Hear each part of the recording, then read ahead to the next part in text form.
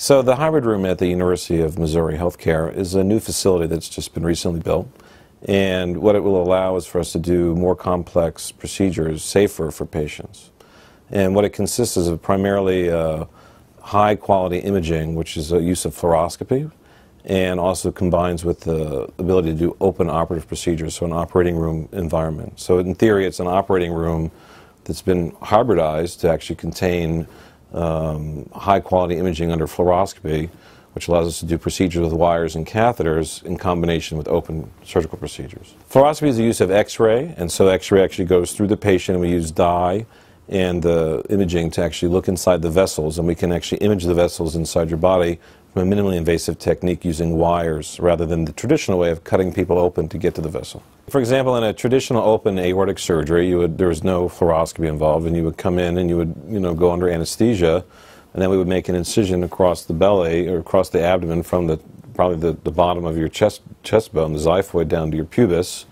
We would then go in and fix the aneurysm. But now today,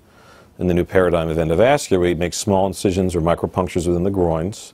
and through the use of this new technology or fluoroscopy, we're able to actually visualize the wires and the grafts as they go up into the aorta and place them exactly with this new imaging to line the aorta or line, the or line your aneurysm so that you can actually, uh, the aneurysm is sealed. So we're basically doing stuff from the inside of the artery versus the outside. And so this imaging technology gives us the ability to see precisely in real time where the grafts are going, where the stents would be going, all through wires and catheters in the past, uh, the the, uh, the, services which were, were separate, for example, um, uh, cardiac surgery, vascular surgery, interventional cardiology, uh, the hybrid OR brings uh, us all together, uh, brings the expertise all into a single room. And um, I do see that being a, um, a big, big plus in the, the University of Missouri healthcare that you have a combined cardiovascular service line where all the uh, programs can work together in collaboration.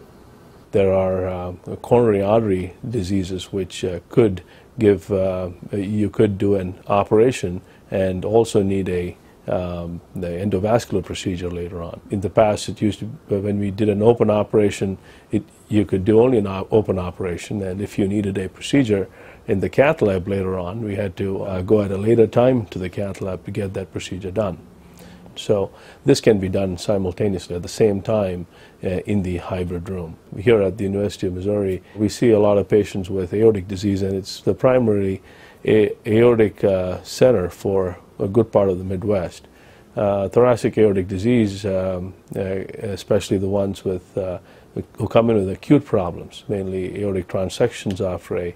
um, motor vehicle accident, accident or uh, anyone uh, who, um, uh, who have dissections or ruptures of aneurysms can be treated expeditiously and fast. And so I think for the vascular department, I can see us doing more and more advanced aortic work, uh, more and more advanced carotid and, inter, and uh, you know, peripheral work as well in terms of where we, we have uh, blockages in the leg arteries that may cause leg cramping. We can actually go in and do that percutaneously, which is through these micropunctures and wires rather than traditional bypass. I think for patients that have carotid blockages, which are the blockages in the neck that can cause stroke, um, where traditionally you would do an open surgery and, and, clean out the artery, we can now go in with a wire and catheter